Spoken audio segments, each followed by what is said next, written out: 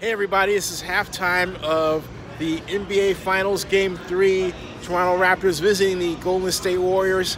But the real news here, aside from the fact that the finals are here at Oracle Arena, is uh, that the stadium is Ring Central. See that? RingCentral Coliseum right behind me. And RingCentral rushed the deal so that they would have the time and the ability to put their name on the stadium right here for the NBA Finals. So, as you can see, this is RingCentral Coliseum Stadium. It's a three-year deal, $1 million each year with an option for a fourth year. Now, this is obviously is not where the finals are happening. It is right here. And uh, this is at Oracle Arena. And you know, I want to say something about Oracle Arena real quick, folks, uh, that should be noted. Oracle Arena is, as of 1998, new. It was rebuilt for the Warriors. It took two years to do it, and a bond issue that was $221 million. The only aspect of the arena that remained was this crosshatch design right here. See that? But the windows and even the material of this were all replaced.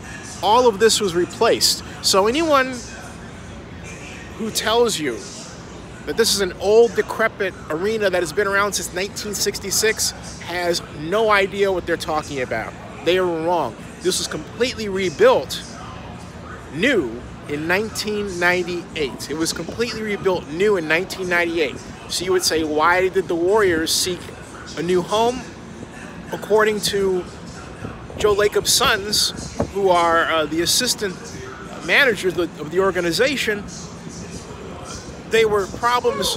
For example, the kitchen here is a central kitchen uh, that's actually below me. Uh, literally, it's actually underground. It's here, okay? It's in, below there, okay? They wanted satellites where you have a kitchen that's close to a luxury box and therefore when the food is made it takes less time to go from oven to patron that ordered it. Now here's the catch. You could build the same thing in this facility, in Oracle Arena. You could redesign Oracle Arena to accomplish the same objective. As to why that didn't happen is a very long story that gets into an Oakland economic development lethargy that has not served it well. At any rate, subscribe to Zennie62 and uh, go Warriors.